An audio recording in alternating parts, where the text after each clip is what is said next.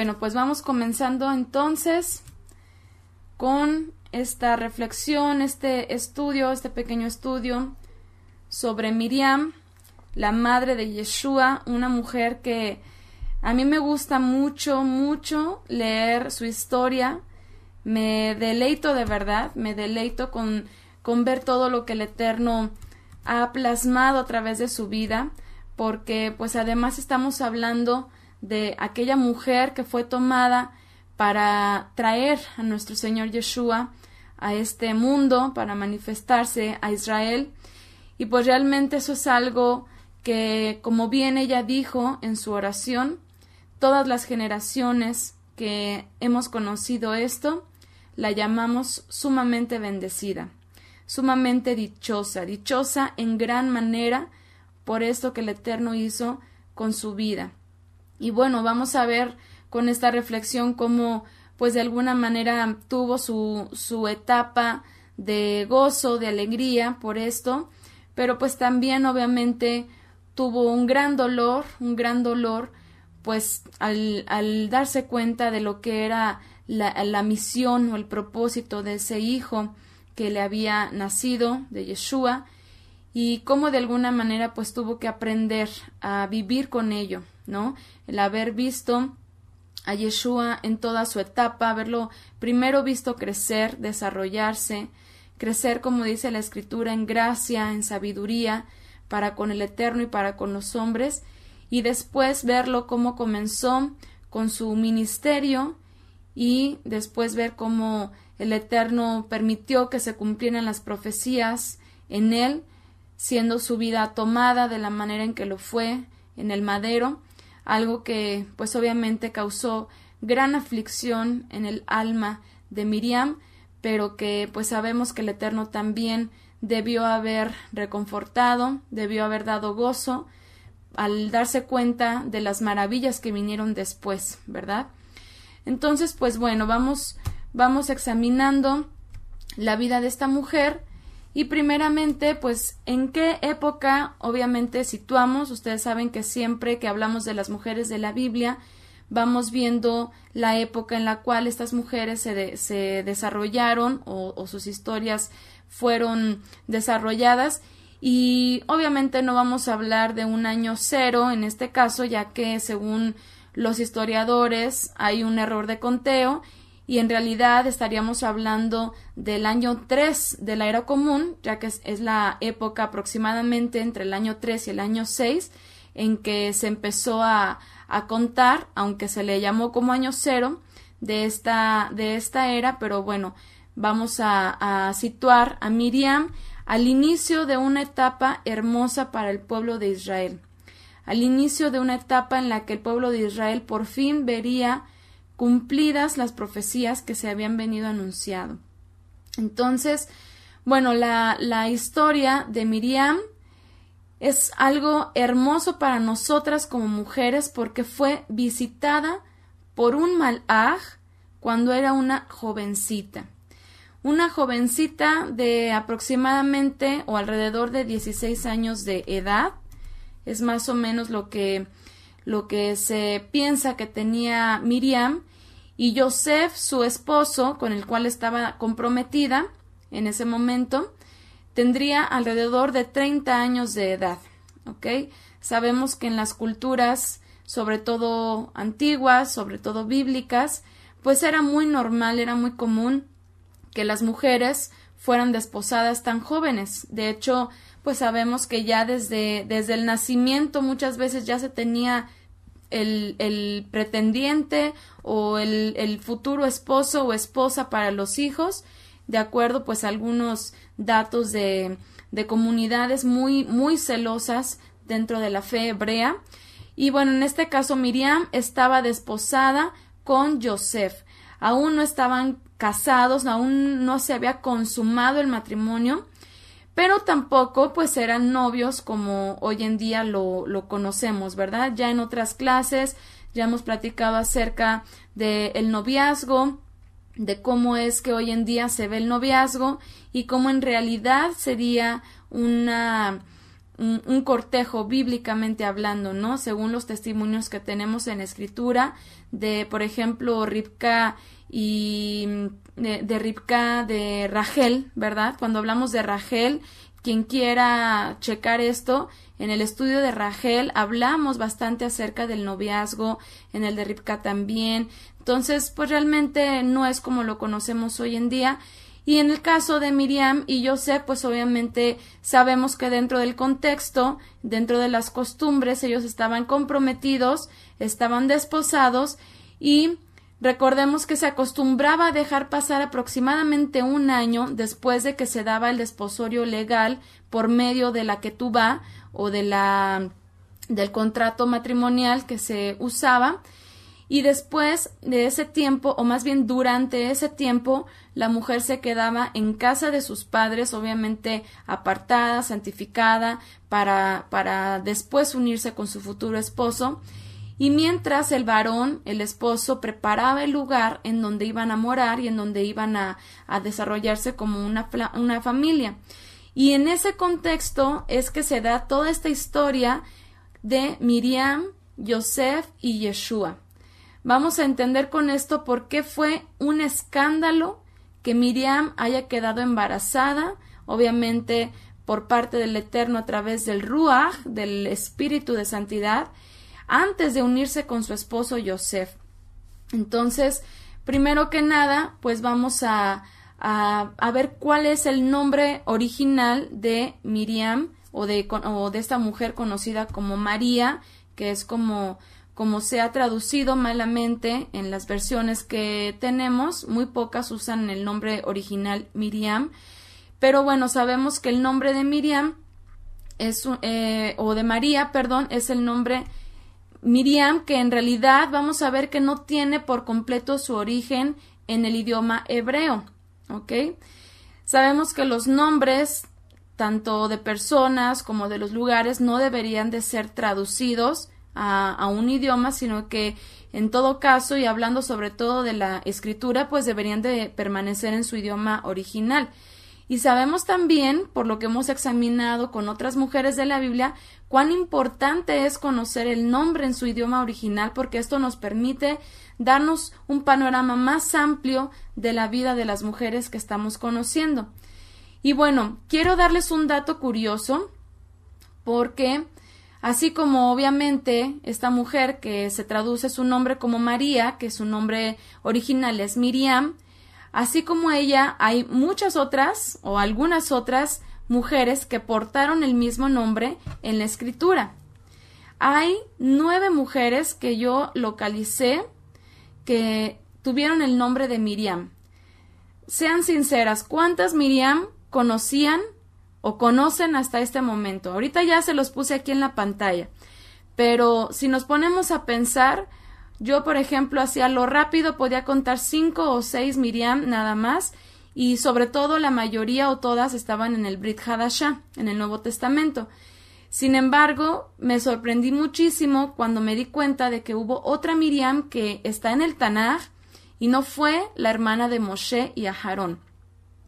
Entonces, bueno, les voy a decir quiénes fueron estas nueve Miriam que se cuentan desde, desde Éxodo hasta Romanos, ¿ok?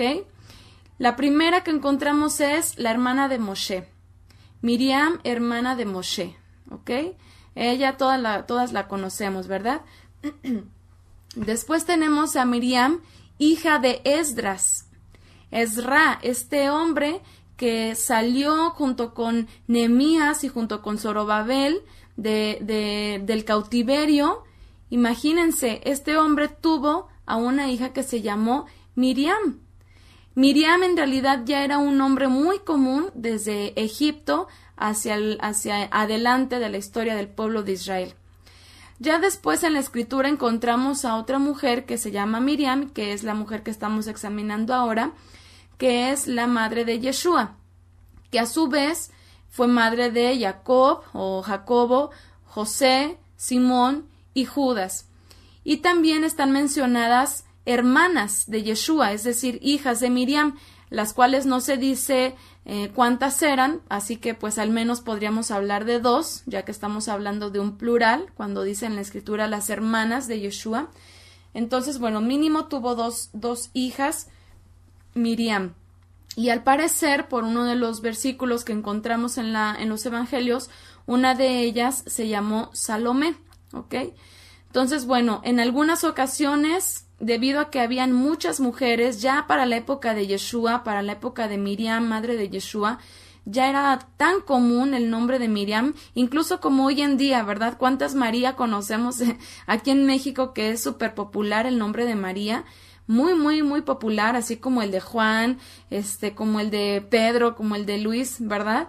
Entonces, también en esa época ya era muy, muy común, así es, Lupita, dice por acá, Guadalupe, hay muchas Guadalupe también.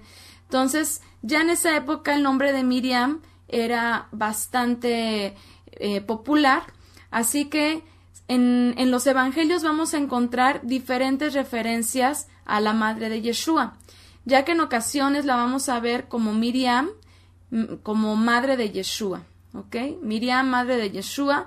En otras ocasiones la vamos a ver como la esposa de Yosef. Vamos a ver que en algún versículo dice Miriam, esposa de Yosef, ¿verdad? En otras vamos a verla como madre de alguno de sus hermanos. Se menciona Jacobo y José en otros este, versículos. Y bueno, aquí cabría la posibilidad de que fuera otra Miriam la que después se menciona como madre de Jacobo y José. Cabría la posibilidad, pero sinceramente yo me inclino a que es la misma Miriam porque pues no se mencionan nuevamente Jacobo y José que sean hijos de, de alguna otra mujer o de otro padre. Entonces, pues bueno, aquí tenemos que también entonces Miriam sería la misma que se menciona como madre de Jacobo y José. Y en otras ocasiones vamos a ver que se menciona madre de Jacobo el menor y de José y Salomé, la cual seguramente pues era una de las hermanas o medias hermanas de Yeshua. Después tenemos a Miriam de Magdala, ¿verdad? Miriam Magdalena, que también es una de las que más conocemos. Después tenemos a Miriam, esposa de Zebedeo y madre de Jacobo y Juan. Este Jacobo es otro Jacobo, ¿ok? Los hijos de Zebedeo, Jacobo y Juan, o Jacob y Johanán. Entonces, esa es otra Miriam. Después tenemos a Miriam, hermana de Lázaro, la misma que ungió los pies de Yeshua con perfume, según lo leemos en Juan 11.19 y Juan 12.3.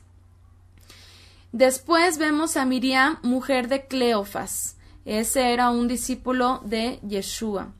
Después vemos a Miriam, madre de Johanán, que tenía por sobrenombre Marcos. Y después tenemos a una mujer que se menciona como Miriam en la Quejilá en Roma. Estas son las nueve Miriam que encontramos en la escritura y pues imagínense cuántas más nos faltarían, ¿verdad? Porque era un nombre muy, muy común y pues realmente habría muchas. Por eso de pronto se tiene que mencionar Miriam, madre de o esposa de, para que se pueda hacer distinción, porque yo creo que la mayoría de las mujeres tenía el nombre de Miriam y aparte otro.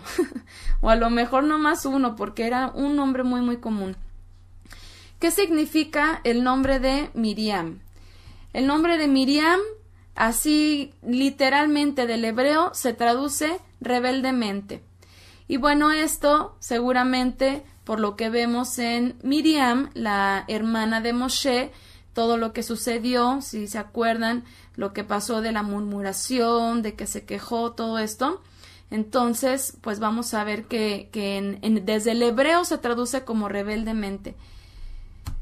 Y bueno, sí es lo que les voy a mencionar ahorita porque Déjenme les comento esto. Primero vamos a ver lo que dice el hebreo. Ahorita vamos a ver porque efectivamente al parecer el nombre de Miriam tiene una connotación del egipcio y ahorita se los voy a explicar. Este nombre, Miriam, tiene como raíz la palabra Meri, ¿ok? Que significa rebelión, amargura, muy rebelde, etcétera. Existe otra palabra que se pronuncia igual, pero que se escribe diferente, que también es meri, que significa crudeza, sentido de, de dominación y señorío. Meri viene de la palabra mara, que significa ser amargo, rebelarse, provocar, resistir, desleal, enojar, irritar y rebelde. Y bueno, yo me inclino mucho a pensar de que estos eh, significados se derivan de Miriam, la, la hermana de Moshe, por su actitud y por cómo el Eterno, pues obviamente se molestó con ella por lo que había murmurado en contra de Moshe. Entonces, pues por eso parece ser que del hebreo es de, es de que se extraen estas, esta traducción, pero hay otras traducciones que también otros diccionarios sugieren y es la palabra, bueno, es la traducción fuerte, princesa, hermosa, elegida y esto en referencia a mujeres egipcias, ¿sí? Este nombre en realidad puede ser una forma hebrea del egipcio Mrit o Mrie o Miriau, que usaron los hebreos en su estancia en Egipto. Ok, entonces, fíjense bien lo que les voy a, lo que les voy a platicar. Este nombre pudo haber sido conjugado de un nombre egipcio con una palabra hebrea, ¿ok? Ya que la primera mujer que conocemos como Miriam nació en Egipto, ¿sí? Ok, sí, ok, claro que sí, lo voy a repetir porque sí se fue, creo que para ustedes también el, el sonido que bueno, realmente este nombre de Miriam tiene una connotación del egipcio que significa fuerte, princesa, hermosa, elegida, en referencia a mujeres egipcias. Este nombre, que es eh, en egipcio Mrit o Mrie o Miriau, seguramente los, los hebreos lo tomaron cuando estuvieron en Egipto, ¿sí? A ver, creo que por acá se los puse. Ajá.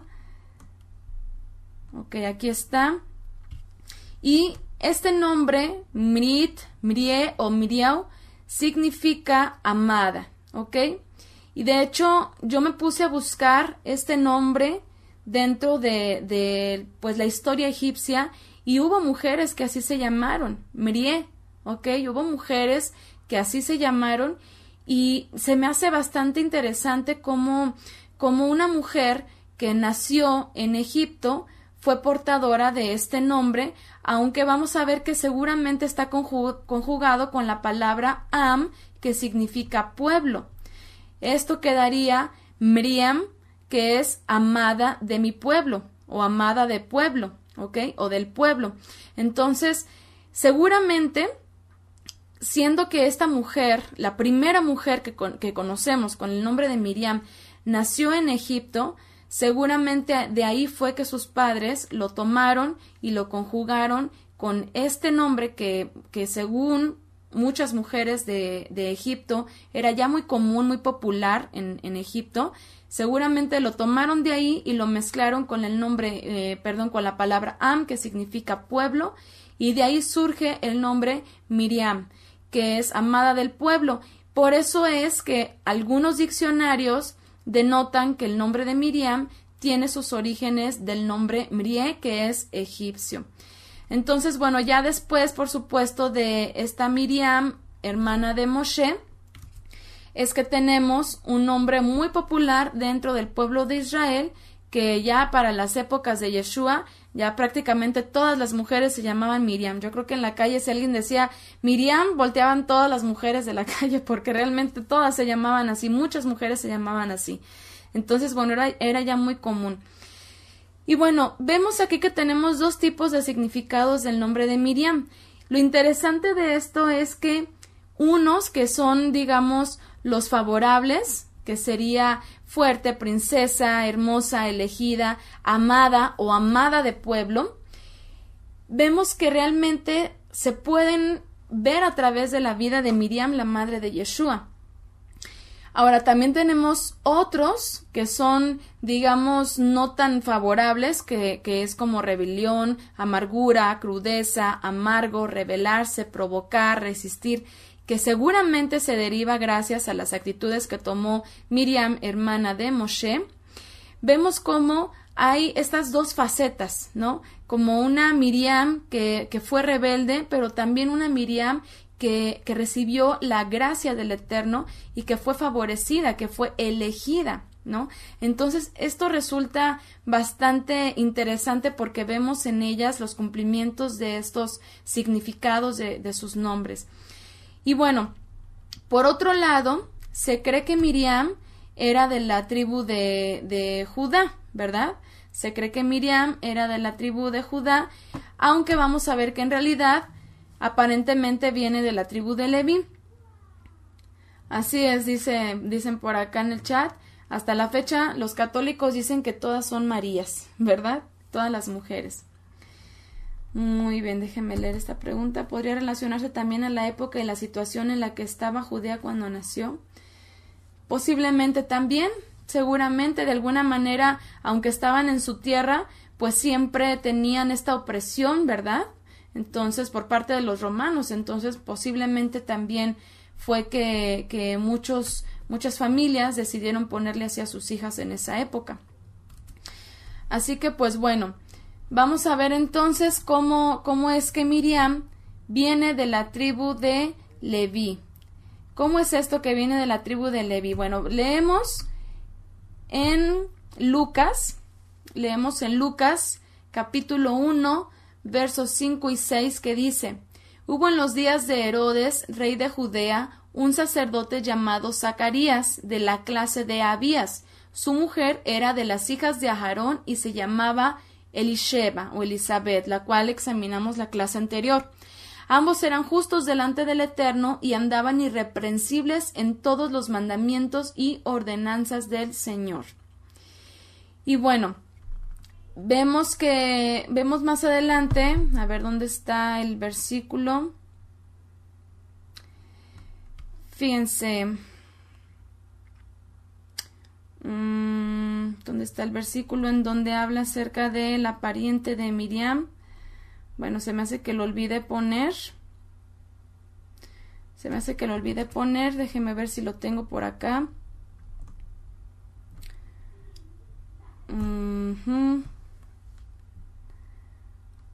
Bueno, ahorita, ahorita más adelante seguramente lo anoté por aquí.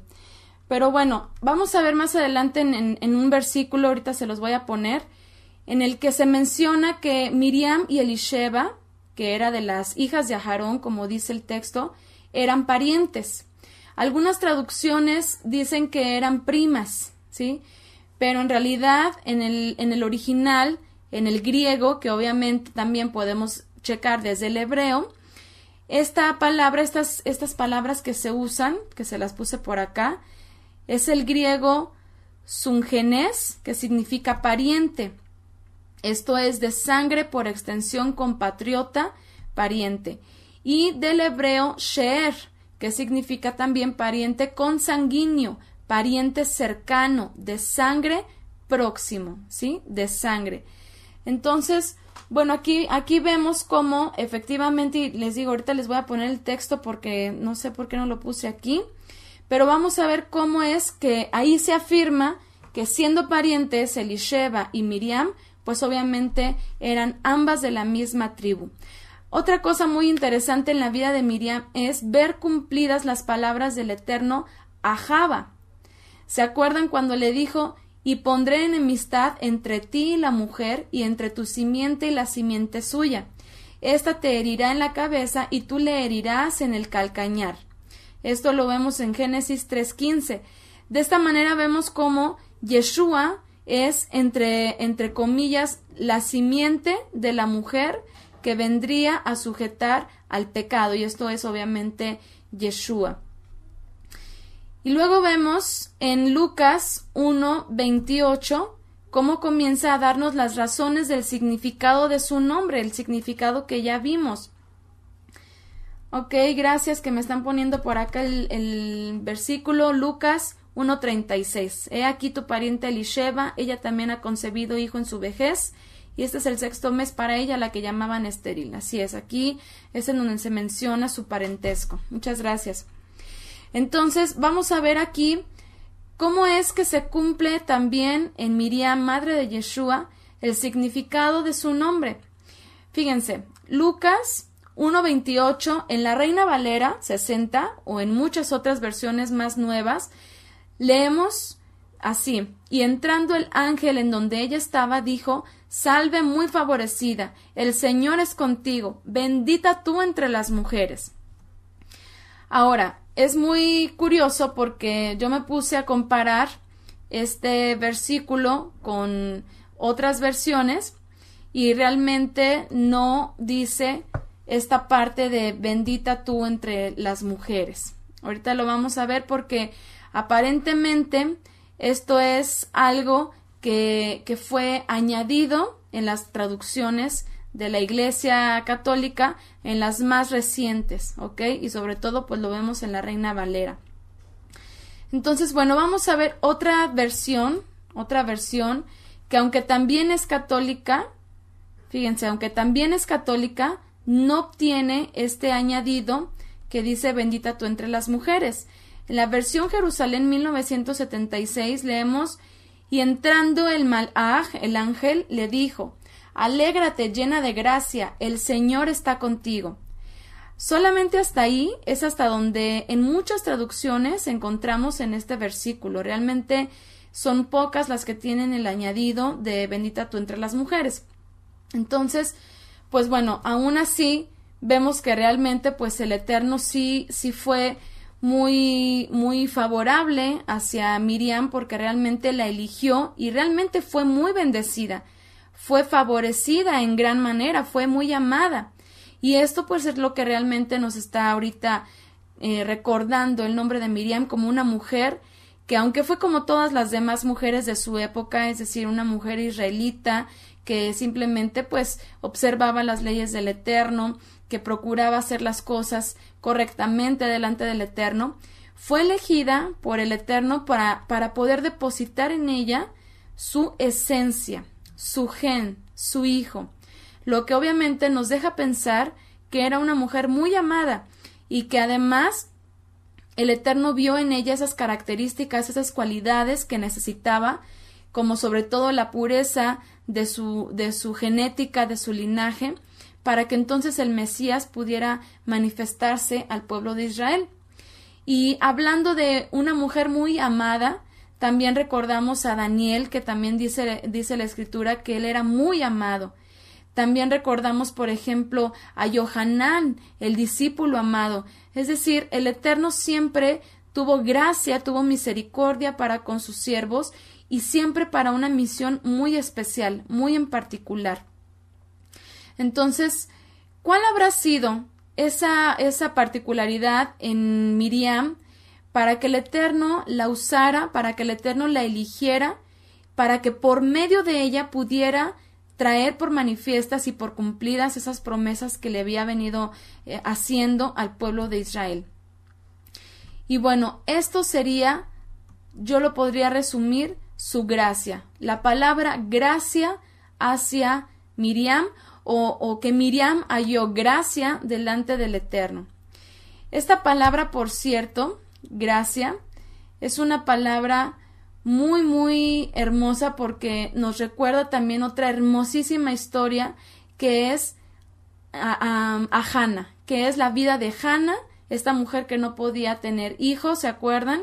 Que, que la otra mujer del Cana, su esposo, que era Peniná, esta mujer Peniná, cómo la oprimía porque ella sí tenía hijos, pero era, era muy déspota con Hannah y Hannah eleva su oración y el Eterno le concede a Shmuel, a Samuel. Y bueno, esta mujer, Hannah, su nombre justamente significa esto, favorecida, agraciada. Su nombre, Hannah, significa doblar o inclinarse en bondad hacia un inferior. Significa eh, favorecer, conceder, implorar, mover a favor mediante petición, amigablemente, apiadar o apiadarse, compadecer, imagínense, compasión, dar favor, gemir, hacer merced, es decir, Miriam recibió esa gracia de parte del Eterno para que entonces se cumpliera todas sus promesas por medio de su vida. Yo creo que debió de haber sido algo sumamente especial, algo hermoso, que el Eterno la haya mirado y que el Eterno la haya escogido para que pudiera ser ese instrumento para que todo lo que venía prometiendo el Eterno acerca de la redención para Israel se pudiera cumplir. Yo creo que y definitivamente sí Miriam fue una mujer que como dice Proverbios, yo cuando cuando pienso en su vida siempre me acuerdo en el proverbio la mujer virtuosa, cuando dice muchas mujeres hicieron el, el bien, pero tú las sobrepasas a todas. Yo creo que hubo pocas mujeres con esta característica, pero definitivamente una de ellas fue Miriam, esa mujer que cumplió con estos requisitos para ser tomada, para ser vista de una manera especial. Entonces, vamos a ver qué es lo que nos, nos afirma esa gracia de parte del Eterno para, para su vida. Dice por acá Yerusha, ni la Biblia textual ni la, ni la de los testigos trae eso de bendita tú entre las mujeres. Así es, de hecho, hay varias, hay, hay bastantes Biblias, bastantes versiones que no traen ese añadido. Entonces, pues bueno, vamos a ver unos textos, dos textos, en donde así es, sería el deseo de todas las mujeres, ¿verdad? Que el Eterno nos permitiera pues ser un instrumento de esa magnitud, aunque pues definitivamente yo creo que ella se llevó el privilegio porque pues fue algo debió de haber sido algo hermoso como como fue su cuerpo receptor de la presencia del Eterno encarnado en Yeshua, o sea, realmente eso es algo majestuoso, maravilloso que, que ella experimentó y pues bueno, vamos a ver qué, qué más sucedió con, con esto. Así es, ni la nueva versión internacional, la latinoamericana, así es, son varias las que no lo traen. De hecho, son bastantes las que no lo traen. Bien, vamos a ver Lucas, capítulo 1, verso 38. Dice, entonces Miriam, dice por acá, solo lo he escuchado en el rezo del Ave María. sí, de hecho, este, sí, ya solamente en versiones más recientes fue que ya pusieron todo eso, ¿no? Para sustentar sus doctrinas católicas. Bien, Lucas 1.38 dice, entonces Miriam, que bueno, ya vimos que es María, pero su nombre real o su nombre correcto es Miriam, dijo, He aquí la sierva del Señor, hágase a mí conforme a tu palabra. Y el malaj, el ángel, se fue de ella. En este primer texto vemos aquí en Lucas 1.38 una de las cualidades de las que hablamos que seguramente fueron por las que el Eterno la eligió. Ella dijo, He aquí la sierva del Señor. Hágase a mí conforme a tu palabra. Esto, esto es algo que cuántas veces nosotras se lo hemos dicho al Eterno. La situación que estemos pasando, ¿se imaginan, se imaginan lo que pasó por su mente de Miriam cuando el Malach le anuncia que el Ruach del Eterno le iba a cubrir y que iba a concebir a un hijo, un varón, que le iba a poner por nombre Yeshua, que iba a salvar a Israel, al pueblo, de sus pecados. ¿Se imaginan lo que pensó? Ustedes saben que las mujeres que ya estaban comprometidas, una mujer que ya estaba desposada con un hombre, aunque el, matrimonio no se hubiera consumado en el acto matrimonial marital, aún así ya era adulterio si la mujer era encontrada con otro hombre. Entonces, Miriam sabía que al ser una mujer que, que, estuviera embarazada, que al concebir la iban a tomar por adúltera. ¿Sí? Entonces, ¿qué vemos aquí en Miriam? Esto que, que nos tiene a nosotros que siempre recordar que no importa, no importa muchas veces las circunstancias por las que estamos o las que vayamos a pasar o, lo que sea, no debemos de cuestionar la voluntad del Eterno. Ella fue una mujer que puso la voluntad del, del, Eterno por encima de la suya propia, sin cuestionar, sin temor, sino que simplemente obedeció. Bueno, a lo mejor, a lo mejor tuvo temor, a lo mejor sí tuvo temor, porque imagínense, se van a dar cuenta que estoy embarazada, van a decir adulteré, me van a querer matar a pedradas, ¿verdad? Pero ¿qué hizo? Se fortaleció, se fortaleció en el Eterno y simplemente obedeció y dijo si el Eterno, estoy segurísima que esto fue lo que ella pensó, si el Eterno así lo quiere, el Eterno me va a guardar. ¿Por qué? Porque obviamente ese niño tenía que nacer. Entonces ella sabía y confiaba en que nada iba a, a, pasarle a su vida, sino que el Eterno iba a cumplir ese propósito en ella.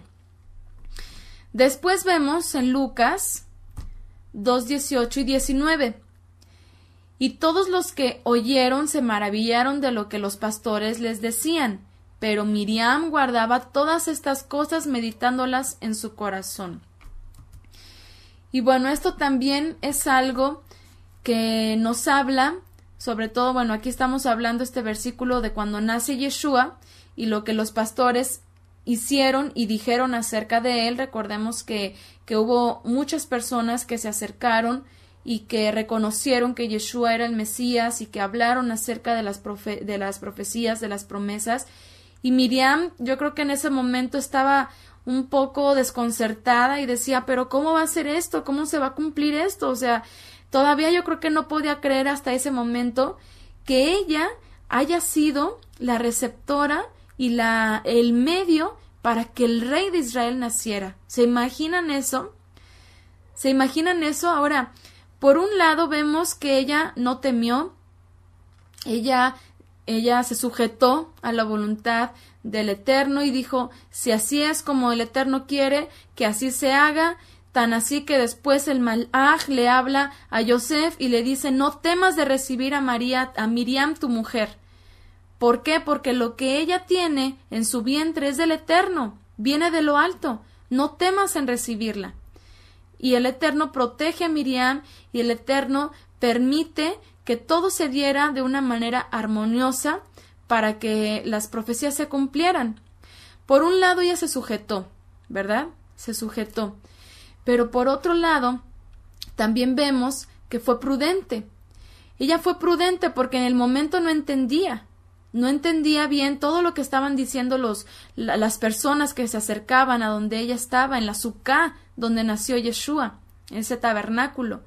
Entonces, ahora imagínense también, por otro lado, Miriam no se envaneció. Miriam mantuvo una actitud humilde meditando todas las cosas en su corazón. En ningún momento se sintió más que las demás mujeres, en ningún momento se jactó del plan que el Eterno estaba llevando a cabo por medio de ella, sino que vemos a una Miriam que se mantuvo sumisa, que se mantuvo humilde delante del Eterno y que simplemente se dejó ser un instrumento en manos del Creador. Cosa que realmente yo creo que es el anhelo de todas nosotras que estamos aquí, que el Eterno nos permita tener esas actitudes humildes delante de Él para que podamos también ser receptoras de la voluntad del Eterno, que podamos también nosotros ser un instrumento en las manos del Eterno. Esa, esa es nuestra oración, ese es el anhelo de nuestro corazón y cuando eso suceda, que el Eterno nos mantenga humildes, sencillas delante de Él y delante de los hombres también.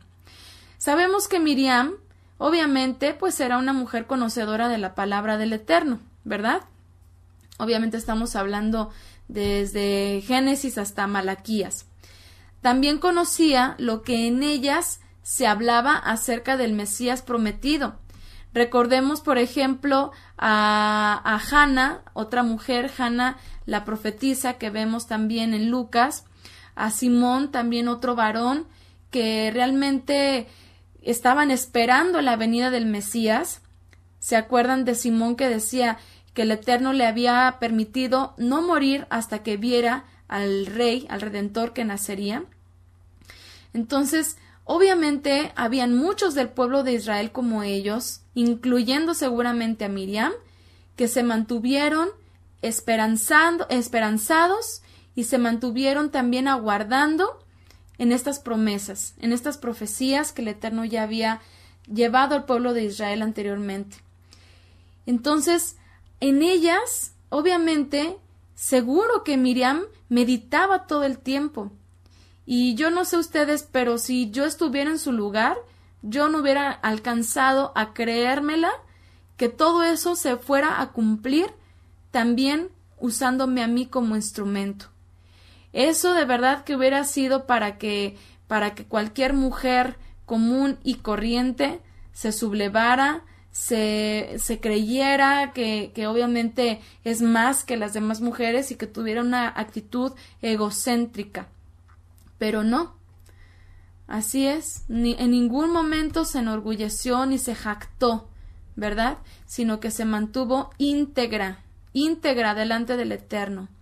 Tanto así que pues el Eterno sabía esto y es por eso que la eligió, ¿verdad? Aún así, con todo y esto, pues debió de haber sido muy difícil para ella el entender todas las cosas que se decían del Mesías y que, y que las viera tan directamente, que las viviera tan directamente. Debió de haber sido algo sorprendente para ella como persona. Recordemos que no era una diosa o una semidiosa, era una mujer común, una mujer que nació de hombre y de mujer, que también incluso eh, habla de que ella también era pecadora, nació en pecado como todos los hombres descendientes, hombres y mujeres descendientes de Adán y Java, que era una mujer que incluso también en su momento tuvo su vida marital con su varón, con su esposo Joseph, y que en algún momento también se fue a dormir de este mundo, que partió, que murió. Pero, ¿qué pasó? A pesar de que ella no tenía nada de atributos divinos ni nada de esas cosas, sino que era una mujer normal como todas nosotras, tuvo una característica muy especial y es su corazón totalmente entregado al Eterno. Y él, él sabe perfectamente lo que fue y lo que, lo que, lo que fue también de, y lo que fue consecuentemente después de que nació Yeshua en la vida de Miriam. Lo que fue antes de Yeshua en la vida de Miriam, en su corazón, y lo que fue después de, de, de, la venida de Yeshua en la vida de Miriam. Y aún así vemos que ella se mantuvo humilde con todo su ser. Después vemos Hechos en Hechos 1, verso 14, que dice sobre Miriam, dice, todos estos perseveraban unánimes en oración y ruego con las mujeres y con Miriam, la madre de Yeshua, y con sus hermanos. Ok, en este tercer texto de Hechos 1.14 nos habla de cuando Yeshua asciende al cielo frente a los discípulos y después dice que fueron al aposento alto, ¿sí? Y vemos también que perseveraban unánimes en oración y ruego. Dice que con las mujeres y con Miriam, la madre de Yeshua, y con sus hermanos.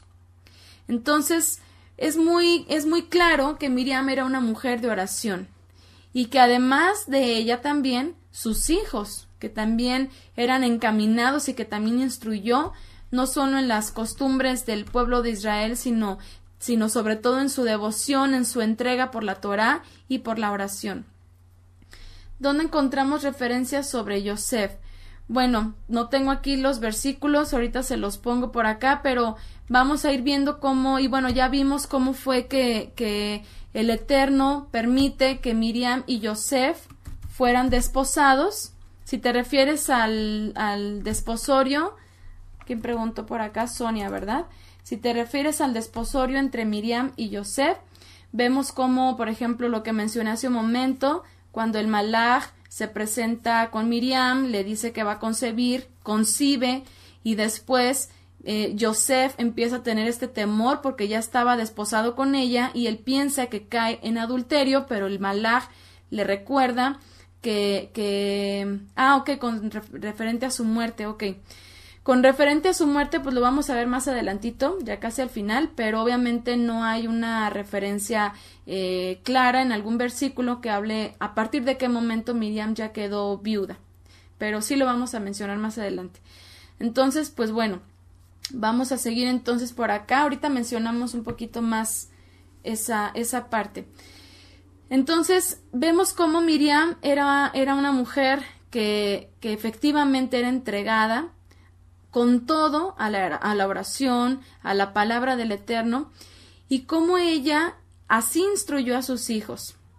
Así instruyó a sus hijos. Y de esa manera vemos cómo ella incluso se cumple ahí esa gracia que encontró delante del Eterno, de los cuales pues ya, ya vemos que nos habla como una cualidad de Miriam, ¿ok? Y hablando de Miriam como una mujer intercesora, pues hablamos como una mujer intercesora como lo fueron también los demás discípulos, ¿verdad? Que también estaban, dice, perseverando en oración y ruego. No, no que ella fuera una mujer intercesora como, como lo pinta o como lo maneja la Iglesia Católica, de que ahora le podemos orar a, a, Miriam y ella va a interceder por nosotros delante de Yeshua y todo ese, ese asunto que plantea la Iglesia Católica, obviamente esto no es así, sino que ella efectivamente fue una mujer de oración mientras vivió, pero junto con los discípulos y junto con sus hijos que también habían entendido esa, ese misterio revelado por medio de Yeshua en la fe que ya, que ya tenían ellos. Y bueno, obviamente vemos como Miriam, al conocer la palabra del Eterno, al conocer las profecías, pues también en su momento recordó una oración muy especial de otra mujer que también fue agraciada que es Hannah y ahorita lo vamos a ver un poquito más adelante, la oración de Miriam. Y bueno, después vamos a ver en Lucas 2, 51. Vamos a ver Lucas 2, 51 que dice, y descendió con ellos y vino a Nazaret y estaba sujeto a ellos, hablando de Yeshua, y su madre guardaba todas estas cosas en su corazón, y Yeshua crecía en sabiduría y en estatura y en gracia para con el Eterno y con los hombres. Entonces, ahí es en donde también podemos ver dos aspectos muy importantes de la personalidad de Miriam, de los cuales tenemos muchísimo que aprender. Primero, dice que guardaba todas las cosas en su corazón, ¿verdad? Dice que ella no estaba tratando de, de, de contender con Yeshua, de a ver, explícame, déjame, déjame entender qué es lo que estás haciendo, qué vas a hacer. O sea, en ningún momento vemos que a pesar de las sorpresas, a pesar de las situaciones que ella iba viendo, ella se pusiera eh, de alguna manera inquieta en su corazón, sino que más bien aquí mostraba una confianza plena, al igual que Joseph, por supuesto, que, que de igual manera seguro que muchas cosas no entendía, pero aquí mostraba una plena confianza, una plena certeza en el Eterno, que poco a poco seguramente fue entendiendo con el paso del tiempo, con el paso de los años, cuando ella eh, va viendo esa obra redentora que estaba realizando Yeshua. Y bueno, una parte es esa, cómo ella guardaba las cosas en su corazón, meditando en ellas, y no se inquietó su corazón, sino que esperó para ver cómo todo iba a realizarse. Y por otra parte dice también que Yeshua crecía en sabiduría y en estatura y en gracia para con el Eterno y los hombres. Obviamente ahí también vemos a Miriam, una mujer que, que seguro que junto con su esposo también tuvo mucho, mucho aporte para el crecimiento de Yeshua como, como niño, porque obviamente pues pasó por todas estas etapas. Una mujer que, que supo entenderlo, porque imagínense Yeshua a su edad corta, que ya estaba ahí contendiendo con los maestros de la Torah en el templo y de pronto ella llega y se da cuenta de todo esto. Y bueno, obviamente ella podría pensar bueno, este, este jovencito, este niño verdaderamente está sobrepasando mis expectativas de lo que yo creía que iba a ser. No lo entendía, entonces lo medita y espera a que su tiempo las cosas se vayan aclarando.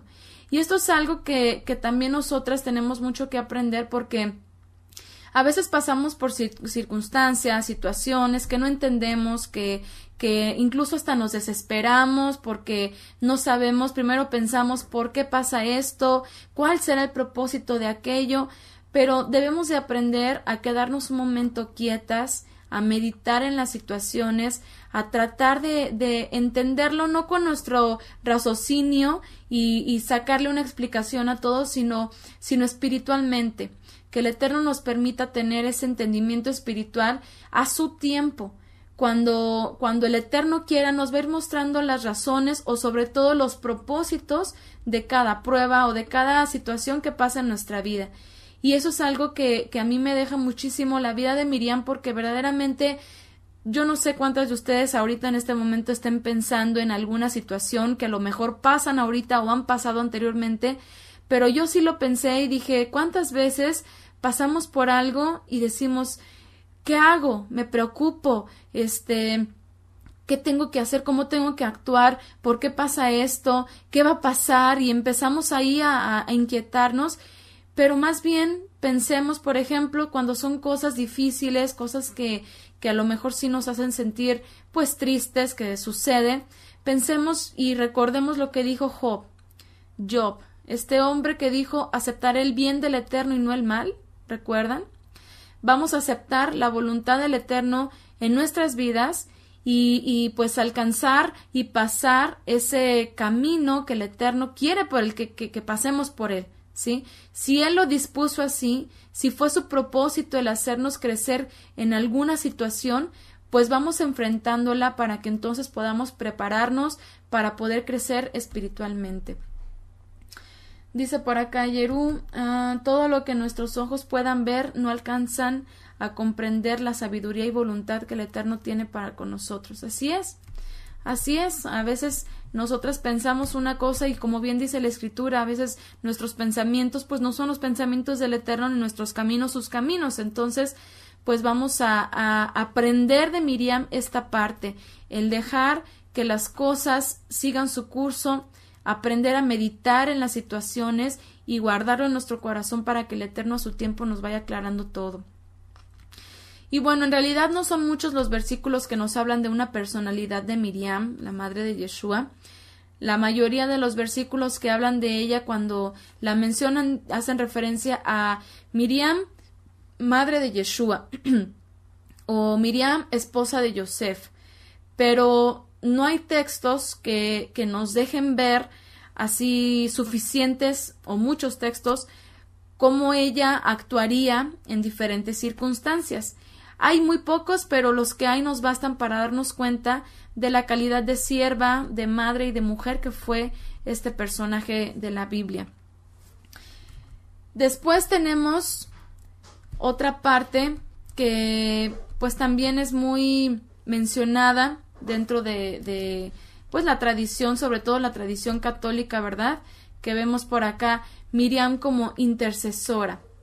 Adelante, adelante Marines. Si quieres por aquí me la vas poniendo en el, en el chat y ahorita juntas la comentamos. Bueno, Miriam como intercesora, Miriam a veces pensamos de, de, ella, según lo que habla la Iglesia Católica, pues que es una mujer, como les comentaba hace un momento, intercesora entre los hombres y Yeshua, cosa que sacan o extraen o pretenden sustentar de Juan 2, del 1 al 5, ¿sí? Es lo que comúnmente se, se habla acerca de Miriam con, este, con estos textos. Sin embargo, pues realmente esto no es así, no es que ella haya sido una intercesora, sino que vemos que aquí Miriam lo que ella pretendía o lo que quería era que se fuera manifestando Yeshua a Israel. Y bueno, vamos a tratar de entender esto un poquito. Primero vamos a leer Juan, Johanán, capítulo 2, versos del 1 al 5. Ok. A ver, tengo por acá también. Ok, aquí está. Al tercer día se hicieron unas bodas en Caná de Galilea y estaba allí la madre de Yeshua y fueron también invitados a las bodas Yeshua y sus discípulos. Y faltando el vino, la madre de Yeshua le dijo No tienen vino. Yeshua le dijo ¿Qué tienes conmigo, mujer? Aún no ha venido mi hora. Su madre dijo a los que servían Hagan todo lo que les diga.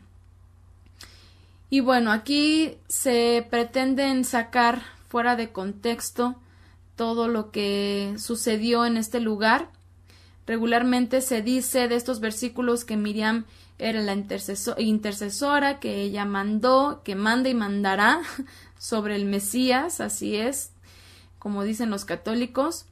Aquí es donde pretenden sustentar doctrinas marianas, pero en realidad cuando Miriam le dijo a Yeshua, no tienen vino, obviamente Yeshua entendió qué es lo que ella quería o pretendía. Y no era nada más así de que, ay, se les acabó el vino, pues tú puedes hacer algo, ¿no? Para que sigamos aquí con la, con la fiesta. O sea, no, no era algo así, por supuesto que no, sino que, ¿cuál era su intención? Su intención sí era que se revelara como el Mesías, porque para entonces todavía no había llegado la etapa en la que comenzara Yeshua de una manera abierta a ejercer su ministerio. ¿Sí? Miriam sabía que iba a llegar el momento en el que él se iba a manifestar y seguramente en este en este en esta fiesta en este momento pues ella pensaba que que iba a ser la, el, lugar indicado ya que tenía pues la, la atención de todos los convidados a la boda, ¿no? Sin embargo, pues Yeshua le dice, ¿qué tienes conmigo, mujer? ¿Por qué le dice esto?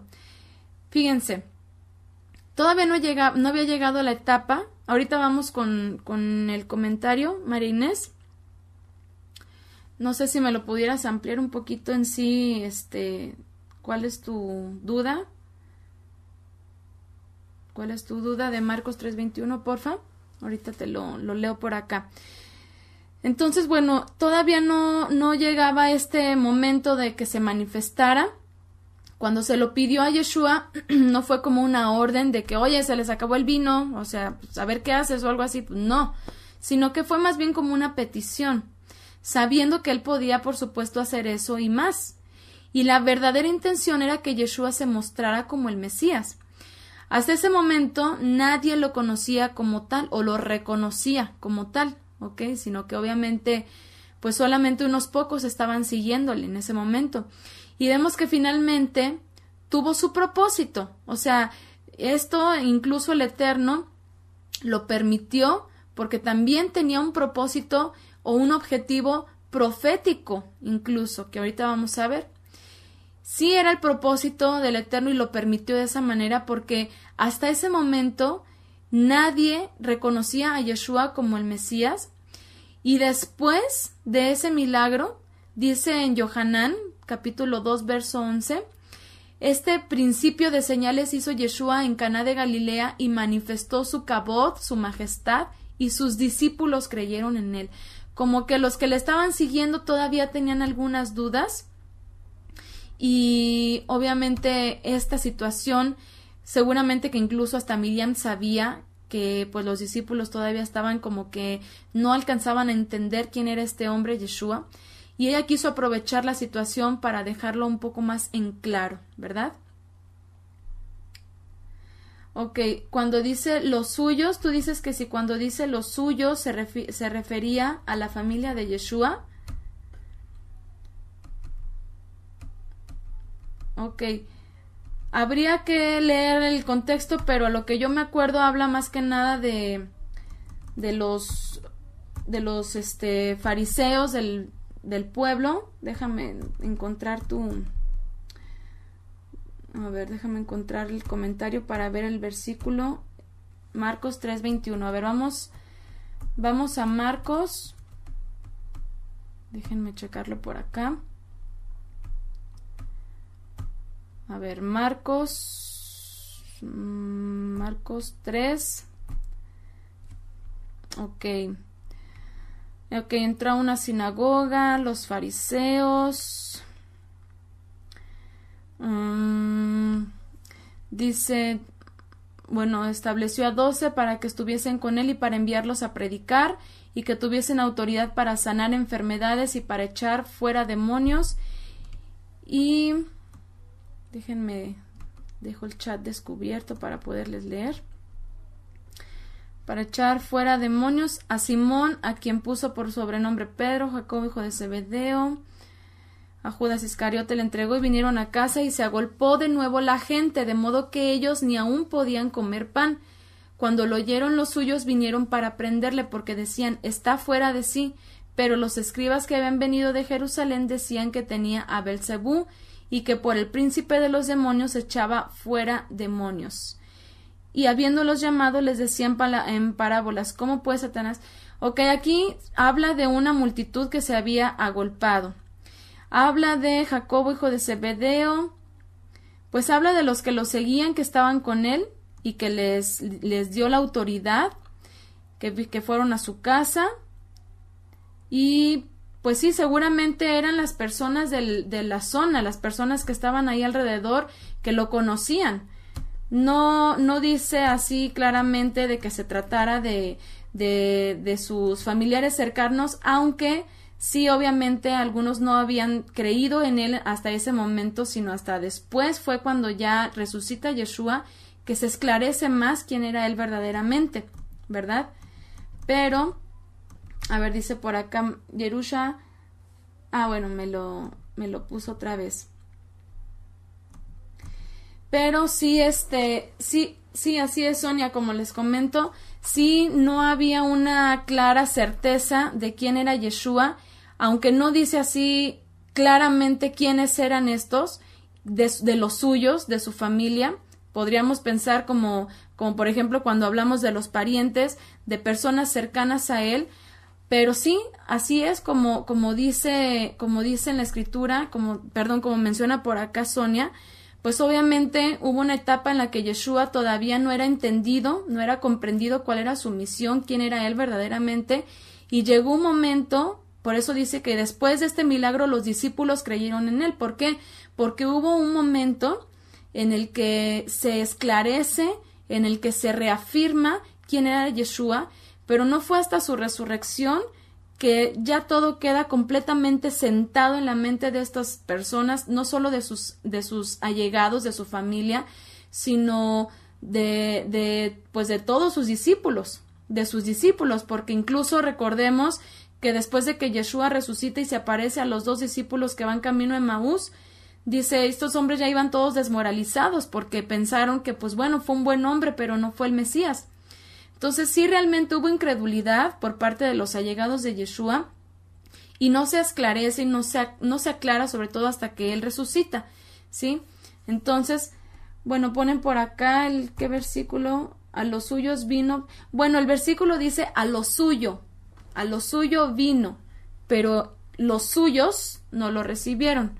Es decir, que, que a lo suyo, es decir, a su, a su propósito, a su misión, a su, a su venida, a lo que él vino, a su misión, vino y los suyos, los de su casa o los, pero no solo hablando de su casa, sino del pueblo de Israel, del, de en general el pueblo de Israel no lo recibieron.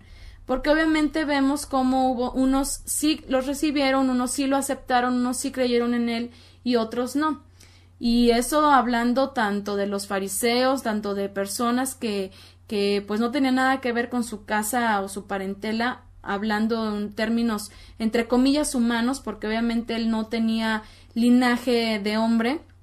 Sin embargo, pues sí tenía sus familiares que con los cuales lo identificaban, ¿verdad? Pero pues sí hubo hubo muchos, a ver, estoy leyendo acá Marta Galante, hubo muchos que no creyeron en él hasta después de su resurrección. Dice, creo Liria Mm, Liria, bueno, creo que se refiere a un nombre. Ok, el liderazgo. Así es, el liderazgo que no lo recibió. Ok, muy bien. Bueno, pues entonces, ¿en qué me quedé por acá? En las bodas, ¿verdad? Las bodas. Esto algo, pues tan, como les digo, fue algo muy crucial fue algo muy crucial que seguramente el Eterno permitió y que Miriam sabía que había, había unos que no entendían todavía quién era Yeshua y sobre todo pues seguro que hablando de sus discípulos y claro que también de su familia, ¿no? Porque como les digo, pues algunos no le seguían desde el principio. El que vemos que permanece desde el principio pues es Jacobo.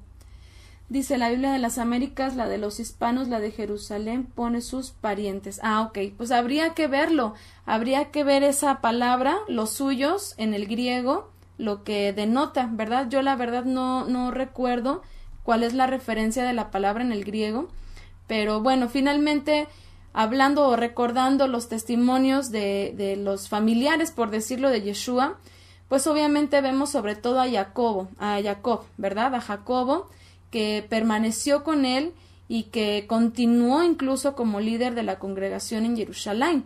Entonces, y sí, efectivamente, como les digo al principio, no creían en él, todavía no entendían su misión, su propósito, y entonces Miriam dice, tiene que haber algo que les deje bien en claro quién eres tú.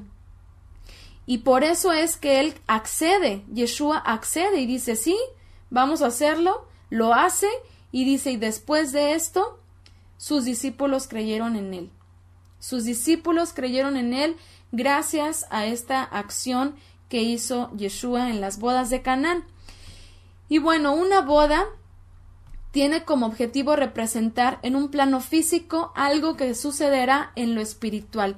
Es por esto que esta situación se da en el contexto de una boda, porque realmente tenía también un mensaje profético que anunciarles, sobre todo y en primera instancia a los que estaban ahí presentes y pues obviamente también a nosotros que hoy en día nos encontramos y continuamos examinando esta parte de la escritura y vamos a ver de qué nos hablan las bodas, el vino. Bueno, las bodas en la escritura representan el momento, obviamente hablando alegóricamente, en que Yeshua volverá y se desposará espiritualmente con su esposa, con su novia. ¿Qué es desposarse espiritualmente? En el matrimonio terrenal existe un aspecto importante que es la fidelidad, ¿verdad? Consiste en un pacto entre dos. Cuando hablamos del pacto con Yeshua, pues obviamente es lo mismo. ¿Por qué? Porque él viene a tomar esa quejilá, a esa congregación que le fue concedido el vestirse de blanco, de pureza, para entonces ser tomada y llevar a la casa del Padre. De esa manera nosotros nos comprometemos a obedecer los mandamientos del Eterno y Yeshua es nuestra cabeza, ¿verdad? Dice que Yeshua es la cabeza de la congregación. Él es nuestro guía, así como un esposo es para su esposa. El sacerdote del hogar también es nuestro sumo sacerdote, y además quien nos redimió permitiéndonos ser parte del pueblo del Eterno, que es Israel.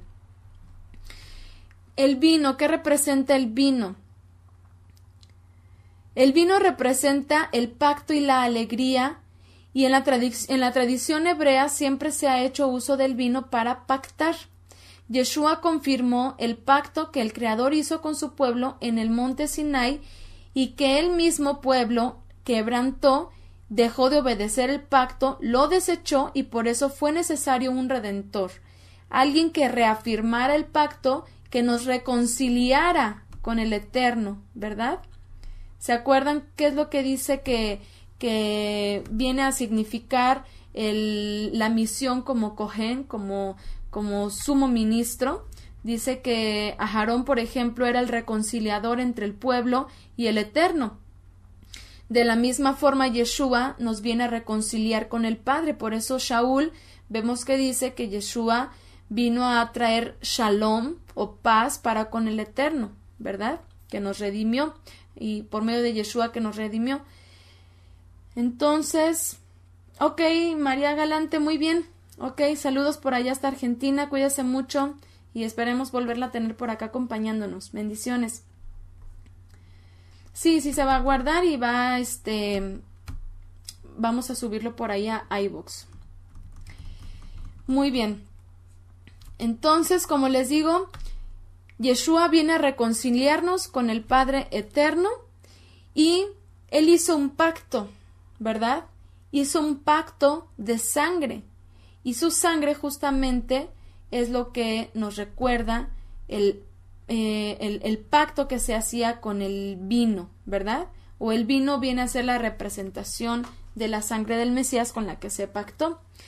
El hombre por sus propias fuerzas no puede mantenerse todo el tiempo sin quebrantar la Torah. En Yeshua obtenemos la gracia para poder obedecer los mandamientos con alegría, no por imposición no, de, no por interpretaciones de hombres, sino de una manera limpia, ¿verdad? Bueno, vamos a seguir leyendo en Johanán 2, del 6 al 10, qué fue lo que, lo que pasó ahí. Dice, Johanán 2, del 6 al 10, dice, y estaban allí seis tinajas de piedra para agua, conforme al rito de la purificación de los judíos, en cada una de las cuales cabían dos o tres cántaros. Yeshua les dijo, llenen estas tinajas de agua, y las llenaron hasta arriba. Entonces les dijo saquen ahora y llévenlo al maestresala y se lo llevaron. Cuando el maestresala probó el agua hecha vino sin saber él de dónde era, aunque lo sabían los sirvientes que habían sacado el agua, llamó al esposo y le dijo todo hombre sirve primero el buen vino y cuando ya han bebido mucho entonces el inferior, mas tú has reservado el buen vino hasta ahora. Cuando el maestresala probó el agua hecha vino, ay, aquí lo repetí sin querer. Bueno, entonces aquí vemos números, vemos alegorías, vemos simbolismos, por ejemplo, el número 12 que nos recuerda las doce tribus de Israel, ¿verdad? A quienes Yeshua vino a reconciliar en pacto con el Eterno y nosotros somos como esas tinajas que almacenamos agua. El agua representa la palabra del Eterno, que una vez que Yeshua interviene entre el agua, que es la Torah, y las vasijas, que somos nosotros, el resultado es el vino. ¿Qué es esto? Entrar una vez más en pacto con el Eterno. Así que imagínense, en ese momento, aparte de que Yeshua estaba llevando a cabo un, milagro por medio del cual muchos iban a creer en él y por medio del cual los discípulos, sobre todo que lo estaban comenzando a seguir, iban a reafirmar quién era él, también estaba dando un mensaje profético. Y bueno, después vemos en Johanán 19:25, cuando ya Yeshua ya es apresado, cuando ya es tomado. Imagínense todo lo que Miriam estuvo pasando cuando Yeshua se iba de casa, pues para continuar expandiendo el mensaje, para, para llevar el mensaje a las ovejas perdidas, ¿verdad? Que estaban lejos, aquellas que se habían alejado. Entonces, yo me imagino que ella como mujer, como un, como toda mujer, como toda madre, como todo ser humano, pues de alguna manera incluso también pues se preocupaba por su hijo, ¿no? Porque para ella era su hijo, para ella era su hijo.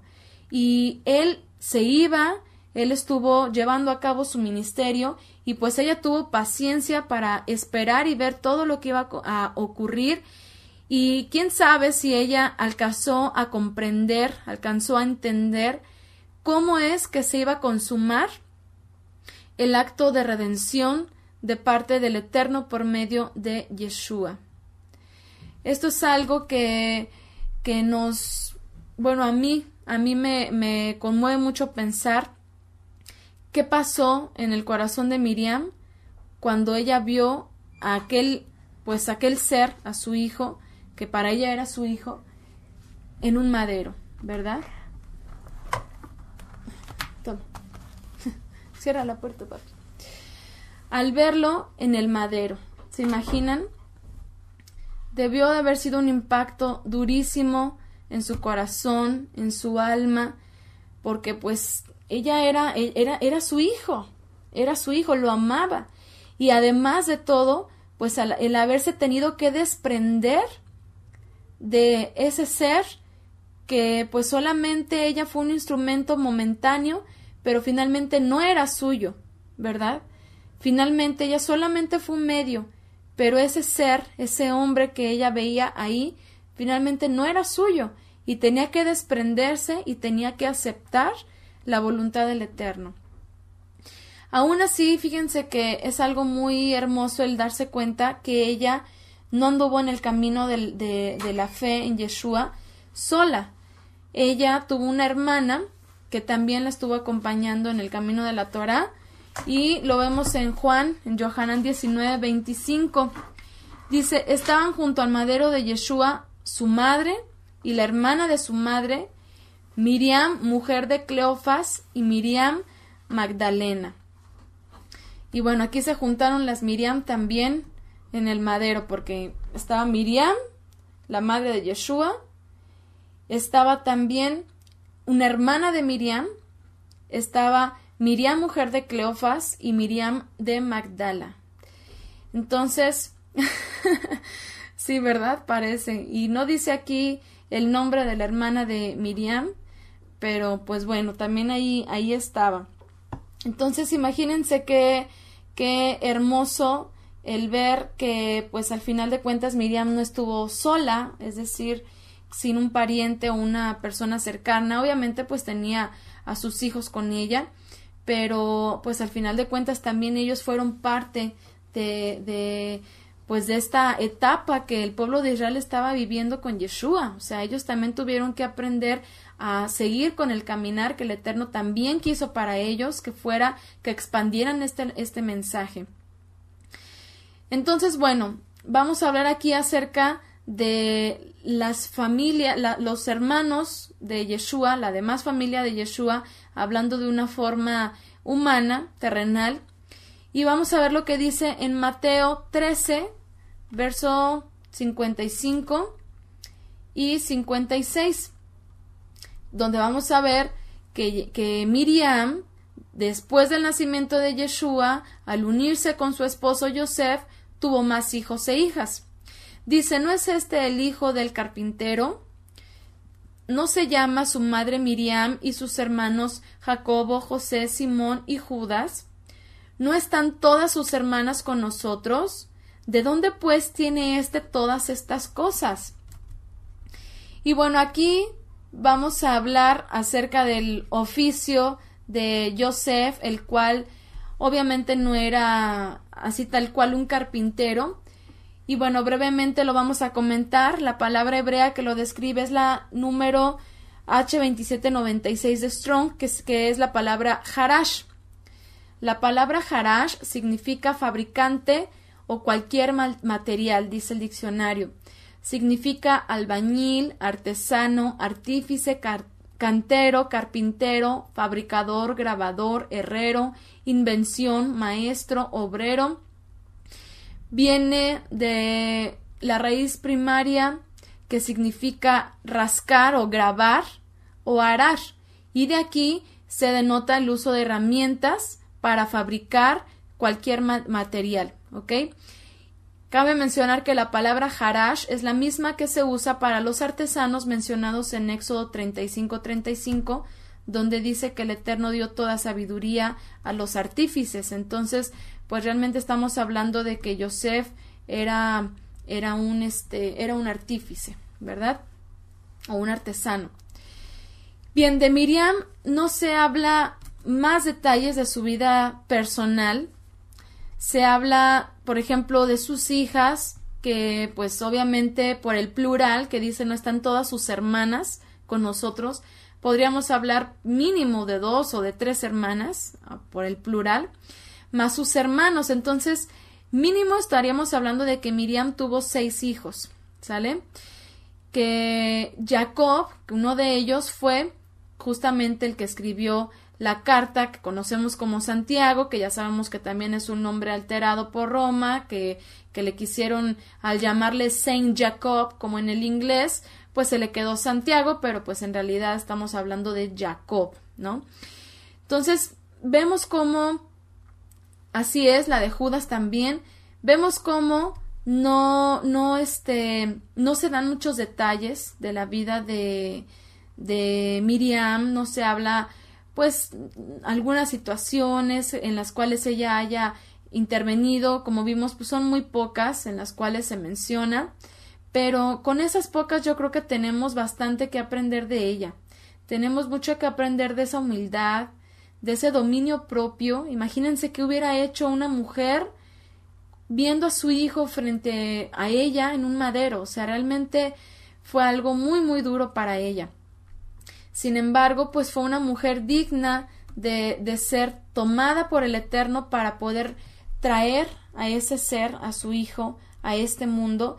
Tan así que en su, en su oración, cuando ella es tomada por el Eterno o cuando ella es elegida por el Eterno, en su oración ella deja muy clara ese, ese corazón, deja muy claro ese corazón, esa gratitud que ella tenía, porque el Eterno le haya permitido ser parte de ese, de ese plan de redención.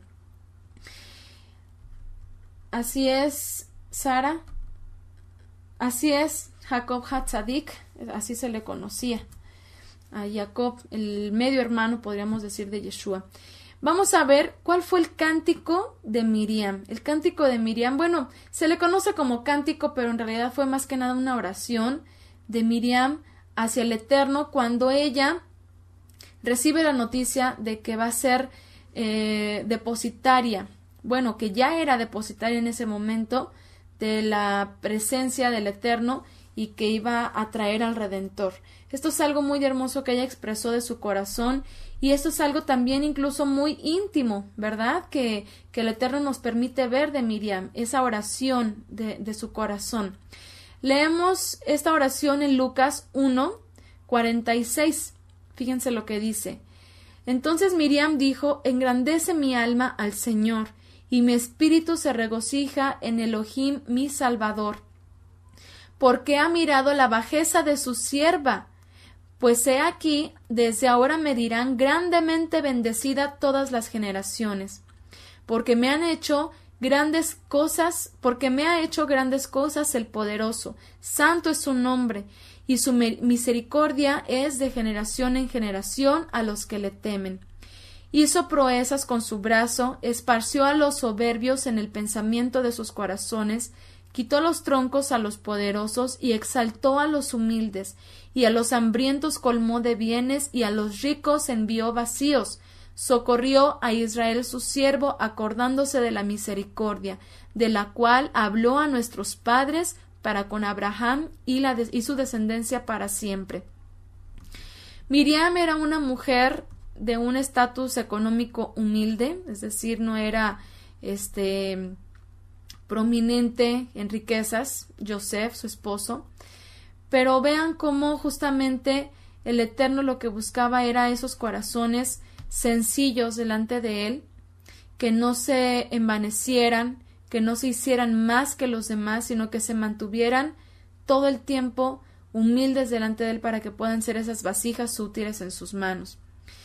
Y bueno, con respecto a lo que a lo que vemos, ah bueno, antes de que se me olvide, este, esta oración la recordamos también de Hannah. Si ustedes van al estudio de Hannah, ahí también van a encontrar cómo Hannah hizo una oración y cómo son como muy similares la oración de Miriam y de Hannah que ya vimos pues que tienen como son como un espejo no en cuanto a, a, sus corazones en cuanto a cómo el eterno tuvo gracia para sus vidas y cómo el eterno les permitió pues cumplir con planes muy particulares para dentro del pueblo de Israel. Entonces, pareciera que la oración de Miriam también está inspirada en Hannah. Y bueno, hablando de lo que comentaba hace un momento, no me acuerdo quién fue la que preguntó, creo que Sonia, ¿verdad? Acerca de Joseph. No se sabe mucho acerca de la vida de Miriam y Joseph, solo se obviamente denotamos que enviudó antes de la muerte de Yeshua, porque cuando se le menciona con Johanán, el discípulo amado, esto está en Johanán 19, 25 al 27, vamos a leerlo, dice, estaban junto al madero de Yeshua su madre y la, la hermana de su madre, María o Miriam, mujer de Cleofas y Miriam Magdalena, cuando vio Yeshua a su madre y al discípulo a quien él amaba que estaba presente, dijo a su madre Mujer, he aquí a tu hijo. Después dijo al discípulo He aquí tu madre. Desde aquella hora el discípulo la recibió en su casa. Y bueno, obviamente no podríamos hablar así claramente de en dónde vivía Miriam, que obviamente no vivía aquí con Johanán, en dónde vivía Miriam, con quién vivía Miriam, Aquí solamente se dice que desde ese momento Johanan la tomó, la recibió en su casa y pues ya fue para él como una, una madre. No se habla en qué momento enviudó, pero pues obviamente podemos inferir que ya para esta, para esta época pues ya Joseph ya no estaba con Miriam. Y bueno, esas preguntas de alguna manera quedan ahí, ¿verdad? ¿Cuándo quedaría viuda? ¿Qué pasaría con los demás hijos que tuvo con Joseph, con los medios hermanos de Yeshua? ¿En qué año moriría em, Miriam? ¿En qué etapa? ¿En qué época? ¿Sí? Ya más adelante pues no se menciona nada de eso.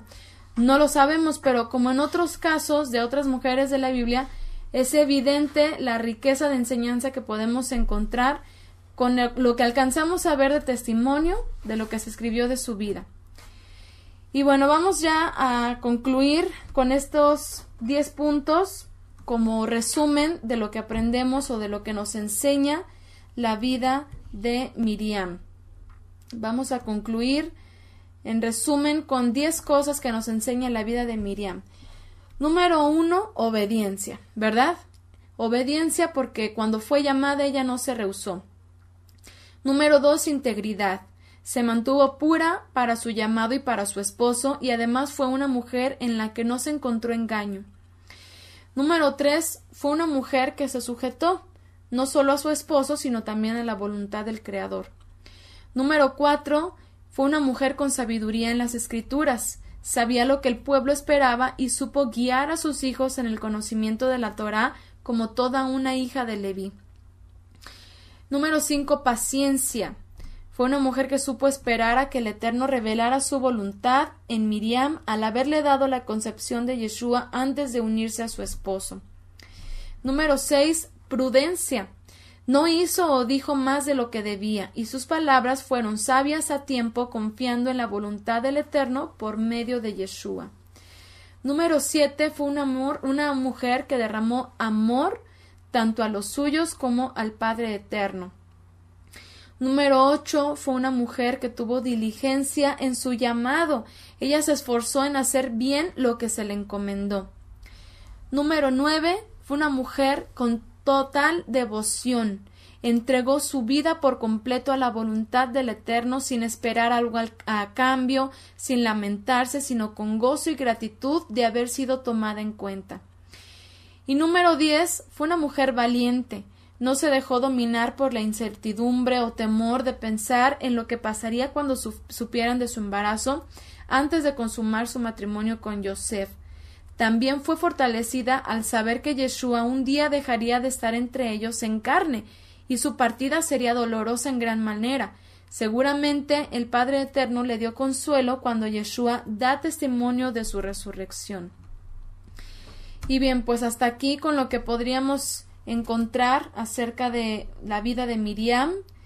Y pues aunque a lo mejor son poquitas cosas las que encontramos como referencia a su vida, a su persona, pues hay puntos muy, muy importantes para nosotras como mujeres que nos dejan mucho ánimo, que nos motivan para continuar esforzándonos, para continuar desarrollándonos como mujeres virtuosas, como mujeres que, que podamos prepararnos también para ser útiles para el Eterno, para servirle a donde sea que Él nos llamare y pues sobre todo también aprender a, mantener esa confianza en el Eterno a pesar de las circunstancias que puedan estar pasando alrededor de nosotros.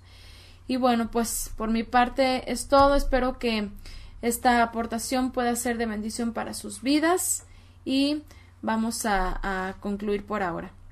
Música